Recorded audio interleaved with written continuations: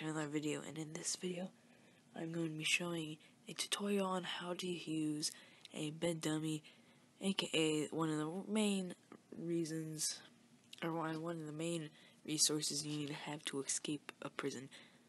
So basically, once you made the bed dummy, which I'm going to show you how, and I might as well do that first, you'll go into other cells. It might be a bit harder and more um, tight security prisons, but you need two sheets and a pillow. So you're to be a jerk and steal those two sheets and pillow.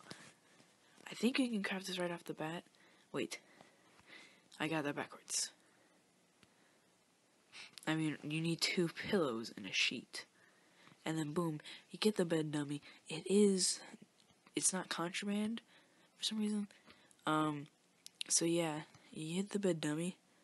It doesn't lose durability when you place it down at all. Like see it's still at 100.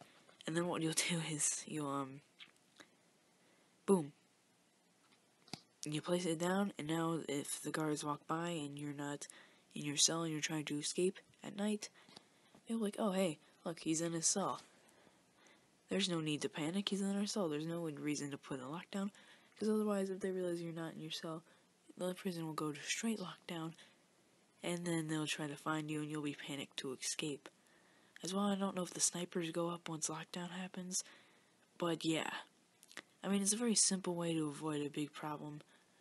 But yeah, so uh, anyway, guys, I'll see you in the next video.